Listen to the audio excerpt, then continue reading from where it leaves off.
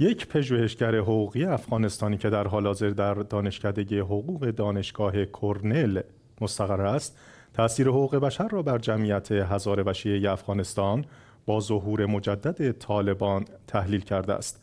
ابتدا همکارم در ادامه به بررسی اجمالی این گزارش پرداخته که در ادامه با هم می‌بینیم. تواب دانش که یک محقق مدعو و در دانشکده حقوق دانشگاه کرونل است و پیش از این استادیار حقوق در دانشگاه پروان افغانستان بوده وضعیت حقوق بشر در افغانستان را برای شیعیان و هزاره ها مورد تحلیل قرار داده است. در این پژوهش آمده که احیای مجدد طالبان تهدیدهای جدی را برای هزاره ها ایجاد کرده که مشخصه آن تشدید خشونت، تبعیض و انزوا است. حکومت طالبان با اعمال محدودیت هایی چون لغو قانون احوال شخصی شیعیان حذف فقه جعفری از سیستم آموزشی و برکناری قضات شیعه عملا این اقلیت را نادیده گرفته و همچنین کابینه و دادگاه عالی طالبان فاقد نمایندگی هزاره یا شیعه است. هدف قرار دادن هزاره تشدید شده و بسیاری از حملات علیه آنان پیگرد قانونی ندارند و در اکثر موارد تا به امروز هیچ نهادی مسئولیت جنایات صورت گرفته علیه شیعیان را بر عهده نگرفته است. برخی از مقام های طالبان علنا وجود هر گونه تنوع مذهبی در افغانستان را رد و تاکید کردند که تنها مذهبی که مردم افغانستان به آن گرایش دارند مذهب حنفی است. در شرایط کنونی هزاره ها و شیعیان شرایطی را تجربه می کنند که با زندگی آنها قبل از ظهور طالبان کاملا متفاوت است چرا که پس از تصویب قانون اساسی در سال 2004 که برابری همه شهروندان از جمله شیعیان را به رسمیت شناخت در طول دو دهه شیعیان و هزار تباها به مقامهای بالایی در سلسله مراتب دولت و دستگاه قضایی و قانونگذاری دست یافتند. از جمله پست معاون دوم رئیس جمهوری در اختیار یک شیعه از تبار هزاره در تمام مدت این دو دهه جمهوری بود و مجلس قانونگذاری متشکل از بیش از پنجاه نماینده در مجلس و پانزده نماینده دیگر در سنا از اعضای جامعه شیعه و هزاره بود. اگرچه انتصاب ها در وزارتخانه های کلیدی از جمله دفاع، کشور، امنیت ملی، دارایی و امور خارجه برای شیعیان محدود بود، اما مشارکت قابل توجه آنان در حوزه های قانونگذاری، قضایی و اجرایی غیر قابل انکار بود. در دو سال و نیم گذشته طالبان به طور اساسی این تعادل سیاسی اجتماعی را تغییر داده و بدرفتاری آنان با هزارها و شیعیان علاوه بر افزایش سطح آسیب پذیری این جوامع در برابر تهدیدات به دلیل از دست دادن قدرت و نفوذ آنان این اقلیت تاثیرگذار را در وضعیت بی سابقه و مخاطر آمیزی قرار داده است. از مظاهر رئیسزاده پژوهشگر مطالعات منطقی جنوب آسیا از آنکارا دعوت کردیم تا پیرامون این گزارش دیدگاه ها و تحلیل خود را بیان کنند. آقای رئیسزاده سلام و عرض ادب. آقای رئیسزاده با توجه به گزارشی که شنیدید دیدگاه شما در رابطه با وضعیت شیعیان و هزارا پس از روی کار آمدن طالبان چیه؟ و آیا امیدی به بهبود وضعیت آنان وجود داره؟ بفرمایید. تشکر. سلام.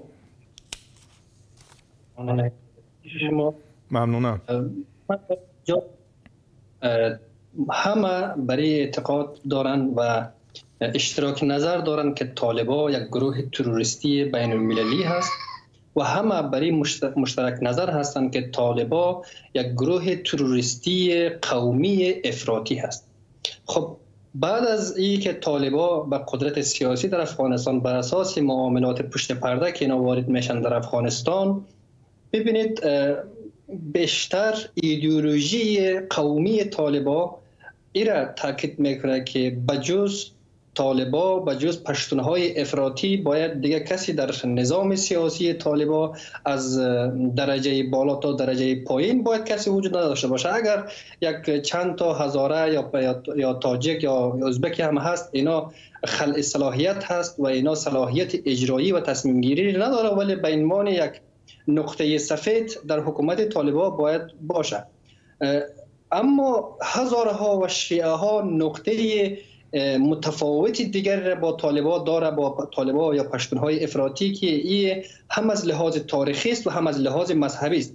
و از لحاظ تاریخی در مسیر تاریخ سیاسی افغانستان همیشه پشتونها خصوصا پشتونهایی که در صدر نظام بودن و افراطی هستند اینا مشکل جدی ایدئولوژیکی و تاریخی با هزاره ها دارند مذهب اهل تشیع نقطه انفکاک دیگری از مردم هزاره از پشتونها و نظام سیاسی میشه.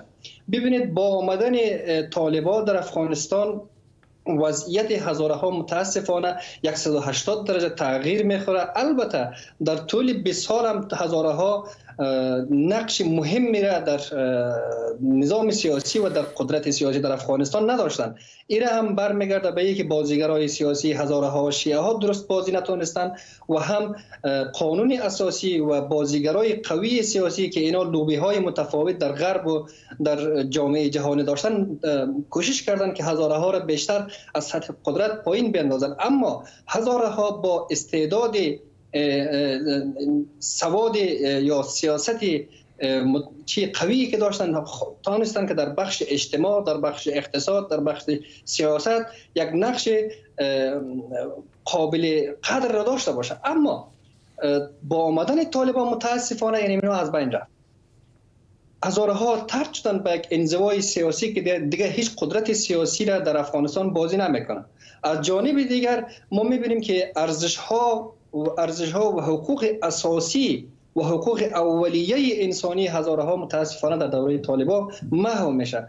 اینا توانایی هیچ گونه برگزاری مراسم قومی و مذهبی خود را ندارند و چندین حملات را در این مورد ما متاسفانه شاهد بودیم. و حتی از این لحاظ چیزی دیگری هم بگویم که دیگه هزاره بودن در افغانستان همون جرمی بود که در طول تاریخ بود. که واقعا اصف انگیز است. و از جانب دیگه قتل عام هزاره ها جنوساید هزاره ها از از زاویه قومی و از زاویه مذهبی بر همه نمایان است.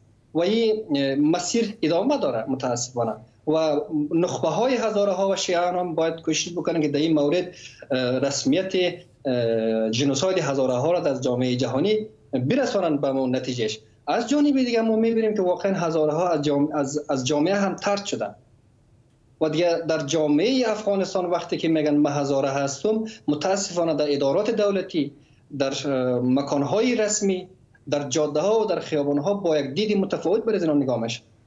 ما بارها بارها شاهد بودیم که ملاها و مولوی های پشتون ها کتاب های نوشته کردن که هزاره ها کافر است. شیعه ها کافر است. و اینا باعث میشه که این فتواها و این نوشته ها در کتاب ها یک دید متفاوت و دید منفی را علیه هزاره ها ایجاد بکنه که ما این محکوم می‌کنیم. واقعا جای تاسف است. اما از که ما بیاییم یک امید داشته باشیم این ما هیچگاه رد نمی کنم امید همیشه هست. امید به استعدادها امید به بازیگران جدید هزاره ها و شیعیان در افغانستان اینا بتانن از طریق ایجاد نهادها و نهادهای سیاسی و احزاب بتانن اینا بازی بکنن در سطح بلند در سطح جامعه جامعه جهانی در سطح کشورهای منطقه‌ای. اینا قناعت بتن که به تغییر سیاست طالبا به تغییر نظام سیاسی طالبا که یک قسم یک نظام رادیکالی را داره بیاین اینا را به توضیح بدن که برادر ما هم در افغانستان زندگی می‌کنیم ما هم در افغانستان حق سیاسی داریم ما هم در افغانستان حق به دست آوردن قدرت داریم. این دیگه با این یک جانب گرایی قومی با یک جانب گرایی مذهبی نمیشه که پیش برد. ما امیدی ما از است که بیاین جوانا و بازیگرای جدید سیاسی از هزارها شیعیان بیاین در سطح کلان نمایندگی از هزارها بکنه و دیگه اون تاریخ تکرار نشه. و قناعت بتن جامعه جهانی را و قناعت بتن مردمشان را در حمایت از احزاب سیاسی و بازیگرای جدید سیاسی بله با تشکر از مظاهر رئیسزاده پژوهشگر مطالعات منطقه جنوب آسیا که از آنکارا دعوت ما را پذیرفتند و پیرامون این گزارش دیدگاه ها و تحلیل خود را بیان کردند.